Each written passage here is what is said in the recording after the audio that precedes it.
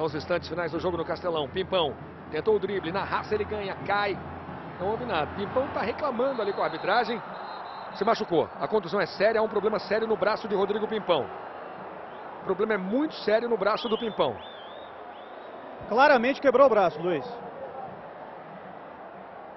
A imagem deve ser forte agora. Cai Rodrigo Pimpão. Ele quebra o braço. A imagem é muito feia. Terrível a fratura de Rodrigo Pimpão.